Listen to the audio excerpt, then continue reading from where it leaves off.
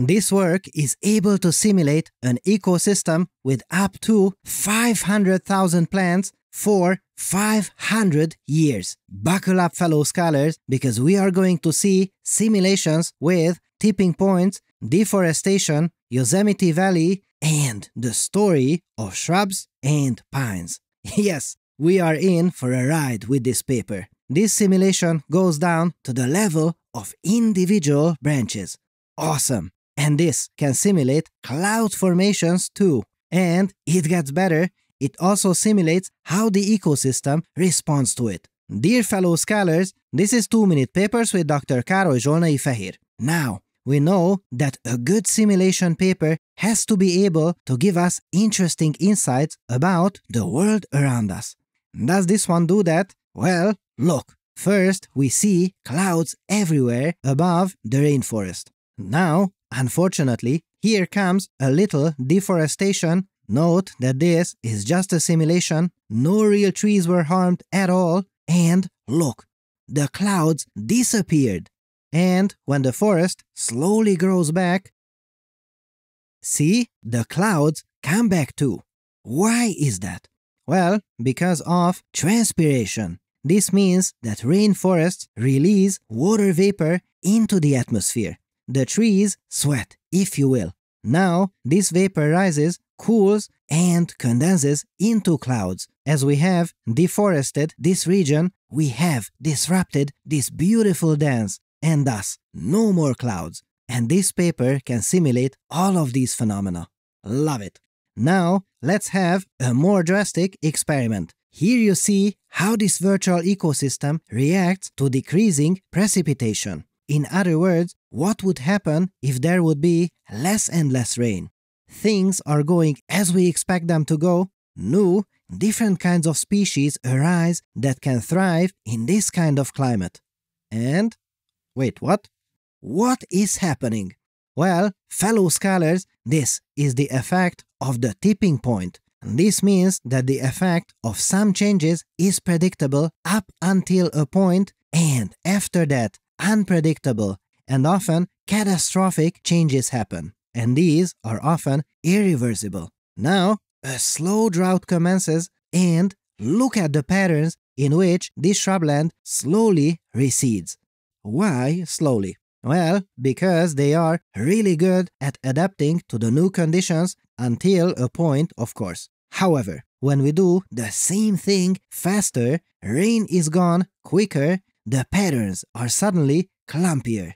And if we do the slow drought simulation with pine trees, you remember from a previous episode how they grow their roots now these are not so good at adapting to the new conditions, so even in the case of the slow drought, let's see, yes, they disappear in clumps. Oof. Now I know what you're looking for. How can the pine trees deal with a fast drought?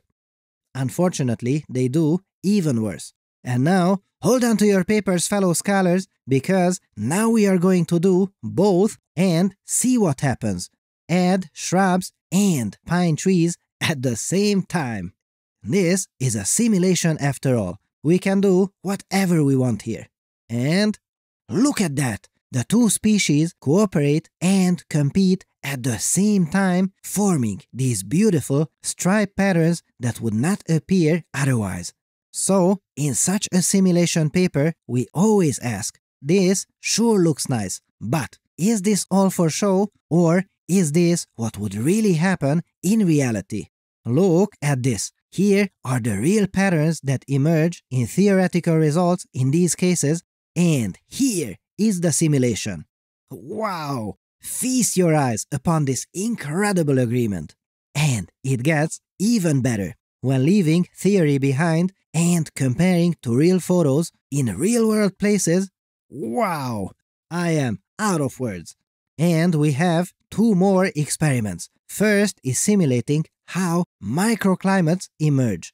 This is a multi-species simulation where we get species taking place right at the center of the formation. These folks love a wet climate, but not everyone does. These species like a drier weather.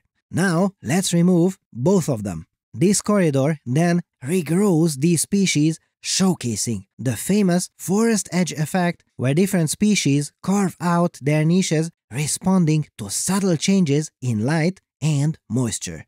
And now, if you allow me to, I could not resist this one.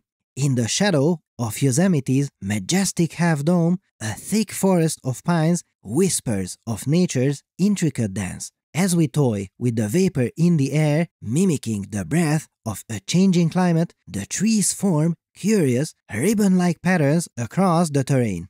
But suspense hangs in the air.